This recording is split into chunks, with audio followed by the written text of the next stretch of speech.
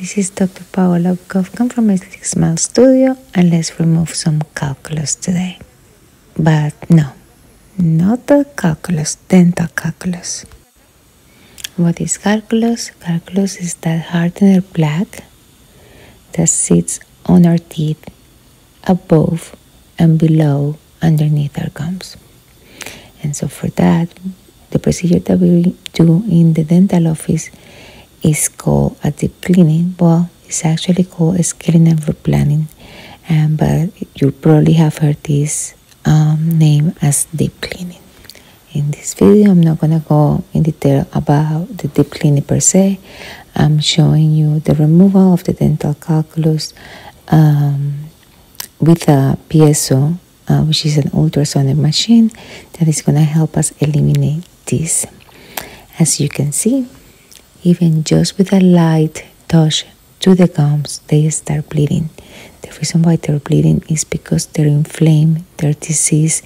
This calculus is causing not just inflammation of the gums, it's also causing um, destruction of the bone that is supporting your teeth.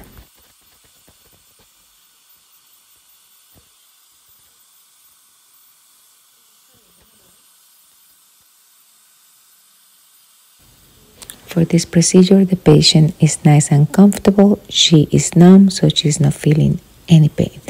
You see the little brown, greenish um, little rock that I'm pointing on with the arrow. That is the dental calculus that we're eliminating very effectively today. Why is a cosmetic dentist talking about calculus and gum disease, periodontal disease? Because in order for me and for any dentist to do any kind of cosmetic procedure, we need to pay close attention to the health of your gums. Otherwise, the results are not going to be ideal. I'm going to move to the bottom teeth just to show you more of this removal um, of calculus. When we're doing a deep cleaning, we usually do it in sections and in a more systematic way for purpose of this video I'm jumping from top to bottom. Um, so you can see how this initial um, excess is coming out. It's actually pretty satisfying to see.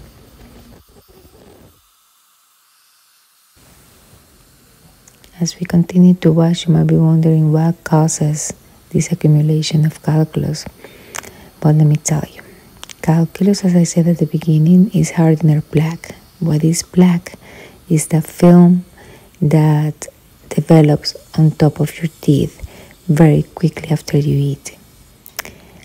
If you don't brush away that plaque effectively, at some point, the minerals in your saliva are gonna react with this plaque and it's gonna start getting hard. Once it gets hard, you're not gonna be able to brush it just at home with your regular toothbrush.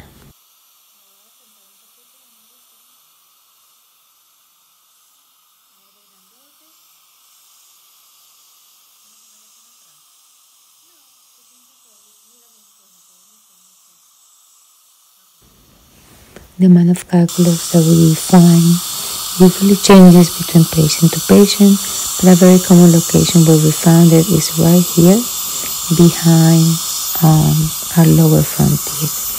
In this particular case that I'm showing you, our patient has generalized calculus. She has periodontal disease. Um, but it's not unusual, as I said, to find this calculus on the back of our teeth. Right there, I'm showing you a little bit more in detail. You see those little rocks, yellow, greenish. Um, that's the culprit right there.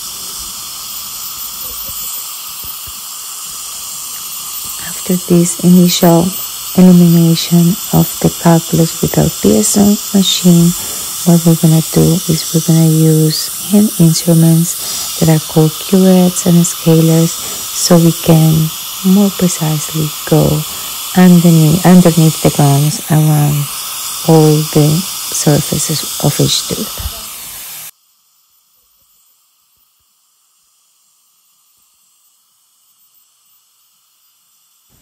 This procedure should be done by a, by a licensed uh, professional.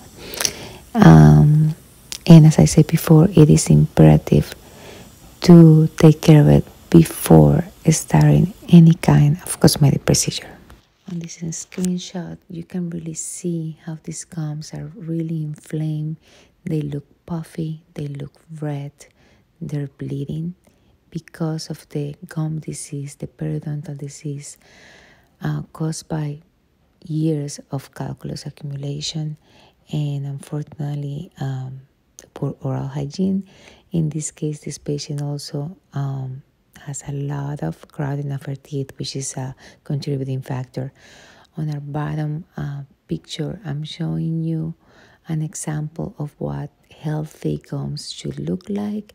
They look pink, uh, they're not puffy, and you can see right in between the teeth how beautiful it looks. This is not the same patient. I just wanted to show you an example of what healthy gums um, should look, how gums are supposed to look. I hope you found uh, this removal of calculus video as satisfying as I did. If you have any questions, please let me know in the comment section and please subscribe to my channel. I'll see you guys later.